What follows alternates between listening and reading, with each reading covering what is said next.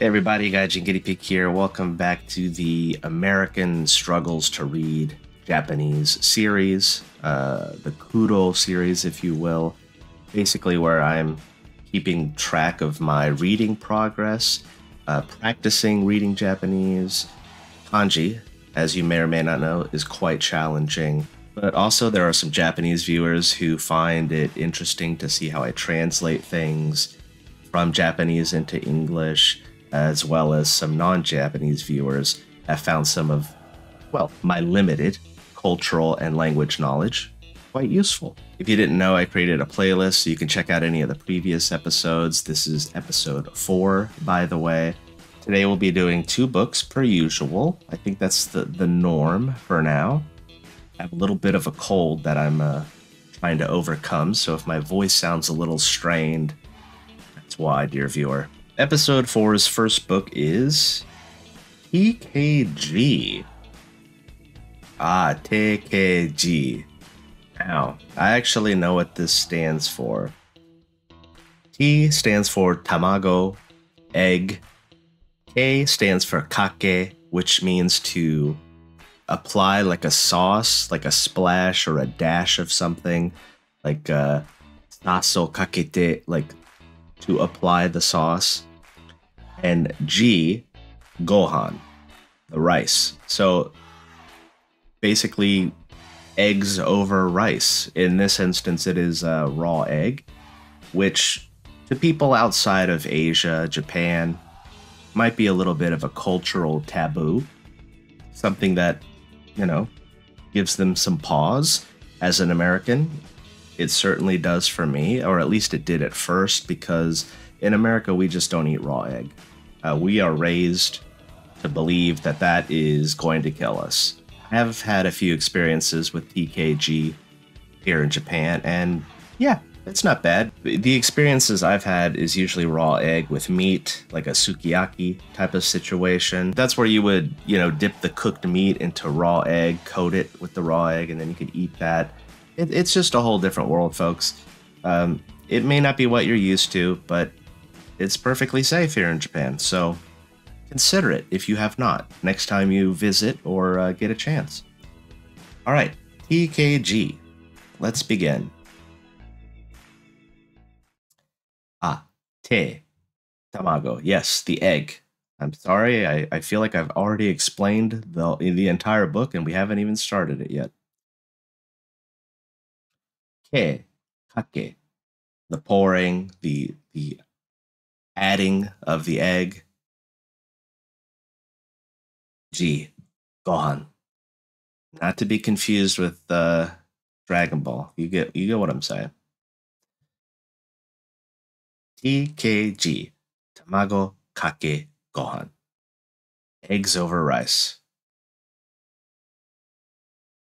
Oh, we got a little story. Great. Tamago kake gohan o tsukurimashou. Let's make eggs over rice. We got tamago, the egg. We got a happy little guy. We got atatakai gohan. Atatakai, warm. So warm rice. And then we have shoyu, which is soy sauce. Uh, when I was an English teacher, my my students would love when I would say show you because I would ask them, "Hey, show me. Let me show you something. Let me show you. Show you." And then they would always say, "Show you? So you, see the word play. Yeah, the kids love that. Oh, there's a warning here at the bottom. Nama de taberareru tamago tsukutte kudasai. And the translation they have for us, please check if the eggs are safe to be eaten raw. That's always great advice. Tamago warimasu. Crack the egg, right? To crack the egg. Tamago o mazemasu. Maze to mix, mix the egg. Tamago kakemasu to apply the egg to the rice in this instance. Shoyu o kakemasu to, to apply the, the soy sauce, to add the, so, the soy sauce. A dash, a splash itadakimasu, which is sort of a set Japanese phrase that you say before eating a meal. I'm sure many of you have heard that before. Uh, the food's presented, itadakimasu. At the end, gochiso-sama deshita. But yes, it's something to, I guess, give thanks for the meal that you're about to consume. Oh, we got a whole. Whoa! This is like a, a video game instruction manual all of a sudden. The full moon. Okay, that's got the egg yolk on top of the rice. Iro iro na TKG. So various types of tamago kake gohan. Dark side. Okay, a little Star Wars influence. It looks like a shoyu flavored yolk, maybe They know that I'm just learning how to read this. Why are they, why are they getting so involved with the kanji? We're not we're not there yet, folks. Only you. Omoshiroi. That's interesting. Only you. どういう意味 I don't exactly know what only you is trying to say. Unless it's a play on words for OU. OU is hot water. If any Japanese viewers want to chime in, give their their thoughts on these uh, recipes, please do. I miss you. The the egg is gone. Maybe just completely mixed in. S SKG, okay, that's shoyu kake gohan. Soy sauce over rice. Imagination. Uh, come up with your own ideas, I suppose. Well, uh, okay. The end of TKG. I have to admit that I don't have a lot of experience, like I said, eating raw egg over rice. It's just not something uh, I was culturally accustomed to for most of my life. And, you know, uh, ever since I've been in Japan, it's just not something that I guess I seek out. I understand it's a big staple in Japanese culture. I don't see anything wrong with it. It's not weird, it's just different. Let me know your thoughts on TKG and uh, have you had any experience eating it? What do you think? Uh, your cultural background, how it differs in, in sort of how you look at a cuisine like that. All right, let's move on to book number two. What is this? We have Nani o nomimasu ka? What will you drink? So nani, what, nomi, nomimasu, to drink, something to drink. And he looks like he's having a nice glass of water. All right. これは cup this. This is a cup. これ this cup cup. 何を飲みますか What will you drink? Mizu no mimas. I'll drink water. Mizu is water. No mimas to drink. Ore wa cup this. This is a cup.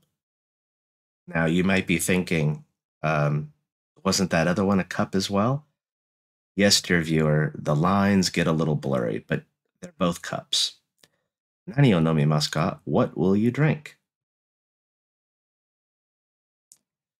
Kohi o nomimasu. I'll drink coffee. これはとっくりとお茶粉です。Whoa.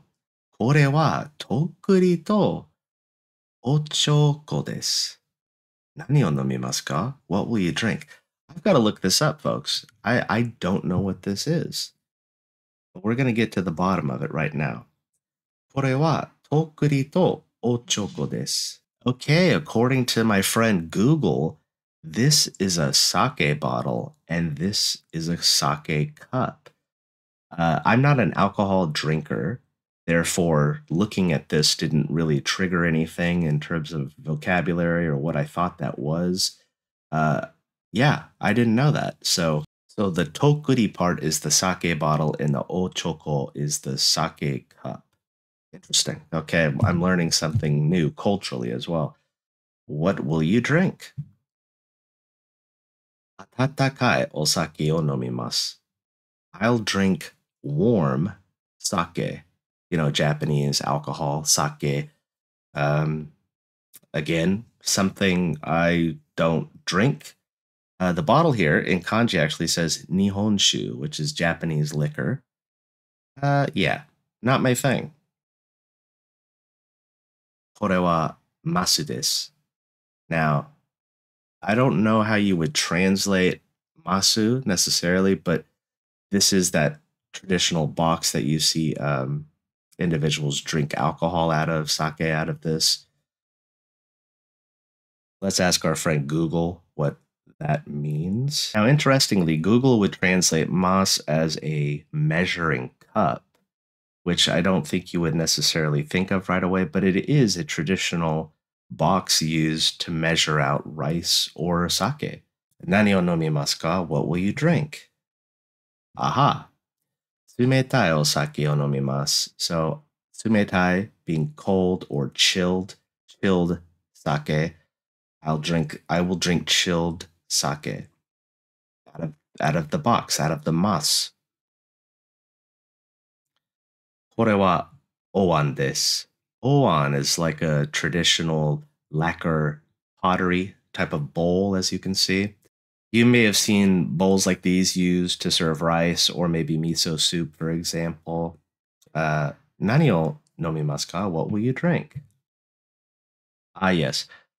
Miso shiro o nomimasu. I'll drink miso soup. Miso shiro, miso soup. I'll drink that. Yeah. I love miso soup, by the way. これは茶碗です。何を飲みますか茶碗 is, like you can see this, it's, it's a dish. It's a bowl, essentially. I guess maybe even referred to as a, a, a tea bowl. I think you could see these in tea ceremonies. Okay. Matcha o nomimasu. Matcha being green tea. I have to admit, and this is maybe upsetting to some viewers, I am not a fan of matcha. I'm not a fan of bitter flavors. Uh, and of course, matcha is very bitter and thus not for me. Matcha onomimasu. I will drink green tea. Kore mo chawan desu. This is also a bowl. So kore mo, this, mo, implying also. Kore mo chawan desu. This is also a bowl. Nani o nomimasu ka? What will you drink? Iie, nomimasen. Gohan o tabemasu. Plot twist. Oh, you little pig. Look at those cheeks. So he's saying, no, I'm not going to drink. I'm going to eat rice, or I'm going to eat. Gohan being rice, tabemasu, to eat. Nomimasen, to not drink. So, no, I'm not going to drink. I'm going to eat rice uh, like a pig. And there it is, Nani o nomimasu ka? The end. We had a little bit of a plot twist at the end. The boy that appears here on the front of the book, drinking water, decided to shovel rice into his mouth at the end. Uh, that was interesting for me because I felt like I, not just getting some reading practice in, but I was learning some cultural points that maybe I hadn't thought about, at least for a while. Okay, so these two books weren't as wild and crazy as episode three with the plot twist and the drama, but they were definitely more culturally informative. So uh, for me, that was quite interesting. I figure anytime I got to look out the translator and start Googling some words, uh, that's a good thing. I'm learning something. So that's the end of episode four of uh, Struggling to Read Japanese. Let me know your thoughts down in the comments below. Anything you'd like to contribute uh, either of these stories, uh, whether it be cultural or language specific, please feel free. I would love to hear from you. But as always, thank you so much for helping my small channel grow. Thank you for watching this video, and I will catch you next one.